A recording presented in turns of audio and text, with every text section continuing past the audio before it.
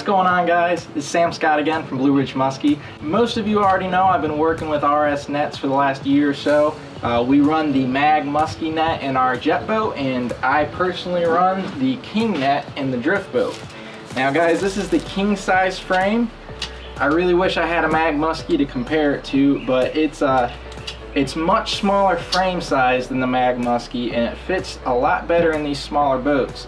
Y'all know I guide mostly out of the drift boat and uh, the Mag Muskie size is just a little too big for this boat. It sticks out. Uh, you know, you got to walk around it a lot of times. It gets in the way. But this king size frame is perfect. It's the perfect frame size for this boat and it's still plenty big enough to fit a 50 inch muskie. now last year I got with the guys at RS Nets, I said, you know, the king net, this is really the better option for me and I believe a lot of other guys as well.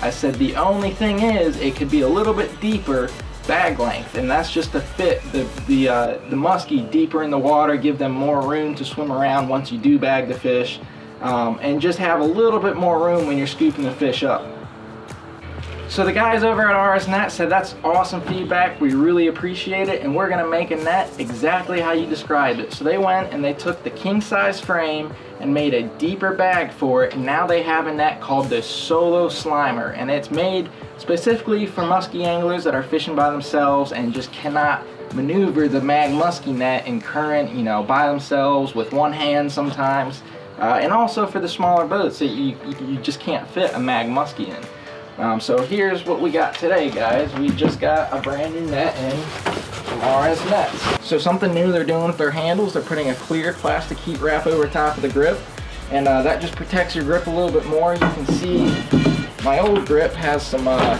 some gashes in it and uh, splits, you know, from just wear and tear over the last year.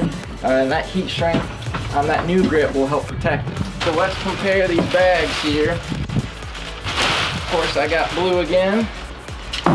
Fresh out of the factory, these uh, these bags are a little sticky. Got to get them pulled out for the first time, get them expanded here. All right, yeah, see, that's a big difference, big difference right there, guys.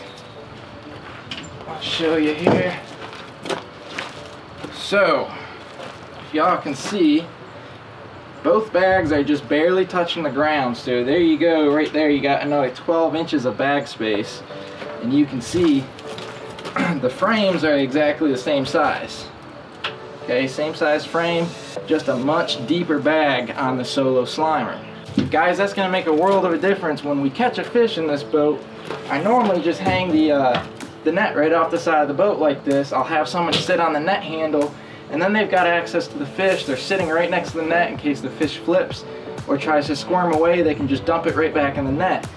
And uh, that's gonna give the, the fish lots of room to swim around in these big nets, guys, with this extra depth all the while keeping a small frame so I can tuck it away outside of the boat and keep hauling down the river. Now you've got two different options when you order these RS nets for handles. You got the standard handle, which is a thinner, um, not sure the, the length on it, but it's just a single piece. You can also order these nets with a telescoping handle, okay? So it's the single piece that extends twice the length. Uh, I always go for the, the telescoping and I usually run it about 12 inches extended and that's how I'll normally scoop the fish up. Now if there's a fishing current and we just can't quite bring them to the boat, I can easily unlash this clip, extend the net out another two or three feet and really reach out to get that fish. Guys, I've been through a lot of different muskie nets in my career muskie fishing and let me tell you, these RS nets are the top tier, best nets I've ever used. I've had fish chew through bags before, I've had nets fall apart, I've had frames break, I've lost a lot of fish over the years due to cheap, faulty nets. And uh, let me tell you what, save the extra hundred dollars and go for one of these RS nets. It's worth it. Uh, these things are built tough. They will last for years and years and years. And uh, they're good and healthy for the fish. They're rubber coated. They got plenty of room for a big muskie to sit in there. Uh, and overall, just a much, much better net. So uh, again, this is Sam Scott from Blue Ridge Musky showing you guys the new RS Solo Slimer. Y'all have a good one.